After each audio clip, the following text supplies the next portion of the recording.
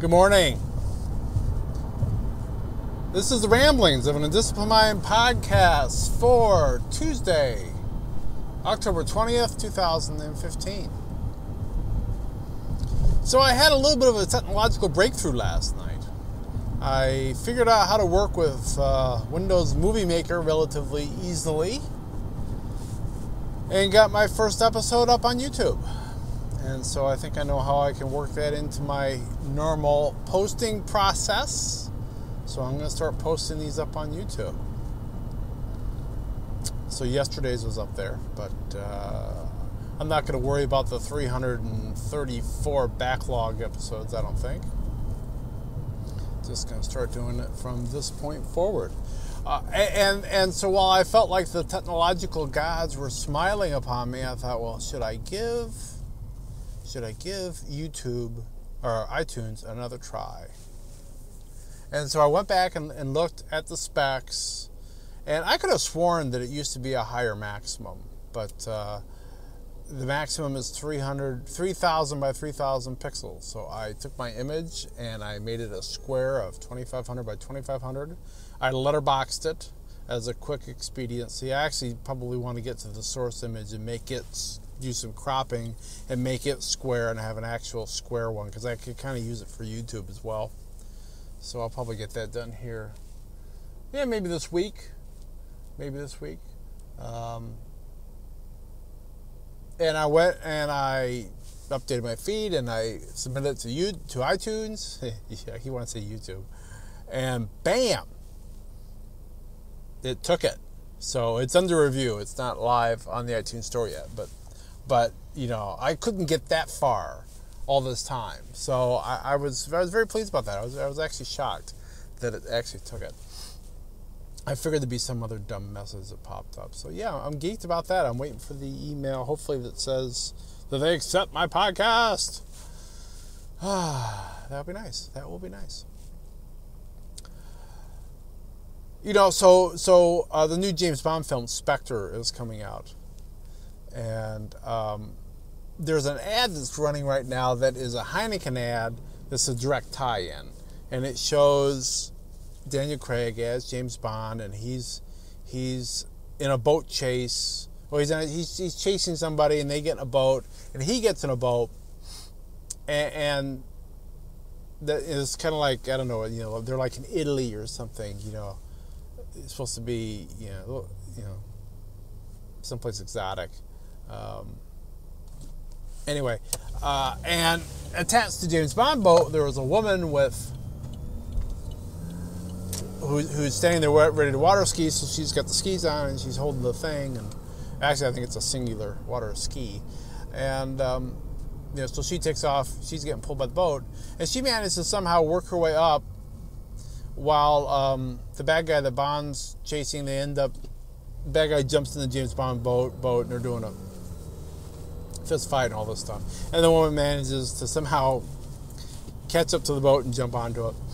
What I noticed about this ad, I won't tell you the whole ad. The, the, the, plot of the ad doesn't matter to what I want to talk about.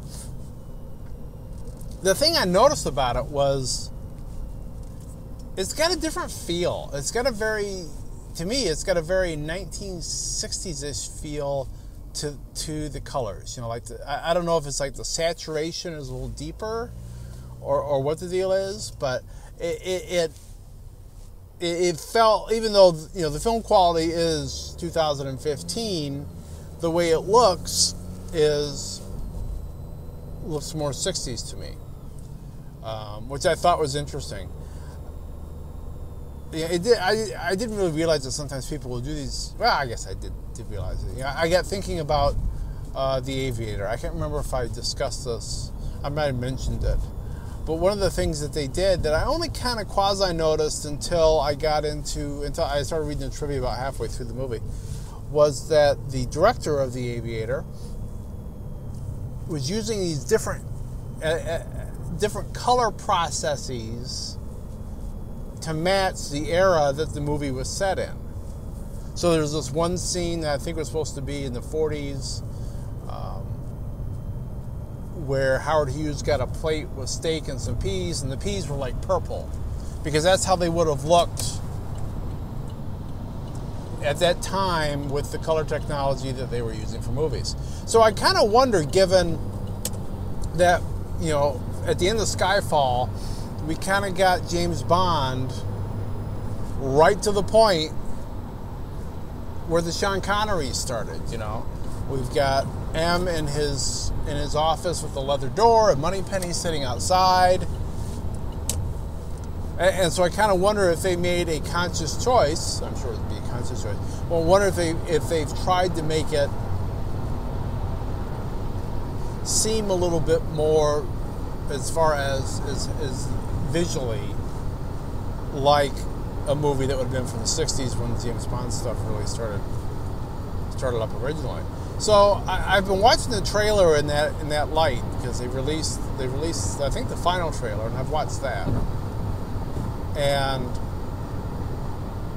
I'm going to give it a maybe at this point. The trouble is there's so much happening and the shots are moving so fast in a trailer. It's really kind of tough to tell. It kind of looks like it to me, but I'm not sure. I, I hope they don't go overboard on it you know, like you know, decide to do 60s style music or something stupid like that. Um, but visually, it's kind of interesting. So I guess we'll see. We'll see how that is. We'll see how that is. Uh, other trailer news is I, I I'm, I'm actually a, a bad person, or at least a bad Star Wars fan, because I know the Star Wars trailer I think it's supposed to be the final trailer also for for the new Star Wars came out yesterday, and I totally blanked on it and forgot to watch it. I meant to watch it this morning, and I got busy doing edits on the Simon Snuffleburger book. Uh, I got two chapters done, so of my read aloud edits, so that's cool. Five to go. So yeah, I need to watch that. I need to watch that. And I got a test tonight in my accounting class, so I got my fingers crossed for that. I'll be spending some time today studying for that. I don't feel like I'm as on solid ground with this one as I was in the last one, so I probably won't get an A plus. But once again, this is for transfer credit, so I don't absolutely have to nail it.